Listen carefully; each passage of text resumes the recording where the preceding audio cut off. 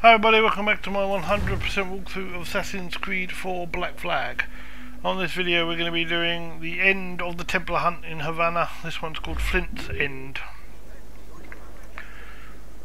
And then we'll be leaving Havana to go somewhere else. Because we'll have done everything we need to do in there. So there's the Templar hunt. I'll go to the nearest thing and then get here. I stocked up on lots of stuff as well. Got berserk darts and sleep Edward. darts. We've reduced that Templar cad Flint to a fraction of his power. The only thing standing between you and your key now is Flint himself. You have an approach in mind? I'll engage him in combat. And you... circle around, carefully, and, well, you know the rest. Suddenly squeamish, Rhona. Can't quite bring yourself to kill him. Of course not! I just don't want you to feel like I'm telling you what to do. I think that injury must have left you with a touch of fever. Can we go now? Let's. Oh, Okay. He won't be hard to find. Cheeky bastard. Strutting about like the cock of the walk. Admit it, Rhona. Deep down, you like the walk of that cock. I can arrange to have you in Thumbikins if Floggin's too kind, Kenway. Okay, so follow Rhona, who obviously has a thing for this Templar. What I miss the most is the fox hunt. Of course, there's plenty of other game to be found. I'll distract him. You circle alone for the kill. Hey, Flint! And there's no real e- way of doing it. There's no point of going in slow. You might as well go straight in for the kill. Chase him down to the boat. Uh, uh, be careful if you get set upon by guards like this.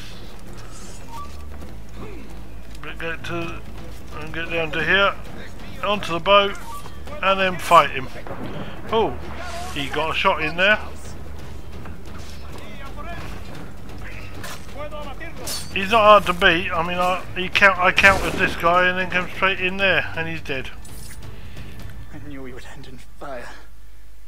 But I always thought our positions would be reversed.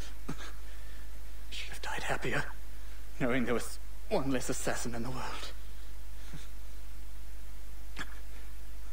What a pity.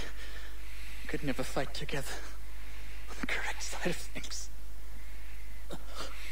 Would, uh. You two like a moment alone? No. It's too late.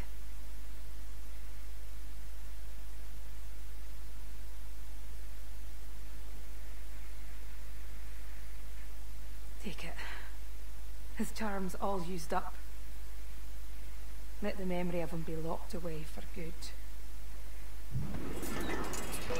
Okay, so now we've got to escape, and as always, we go for the water.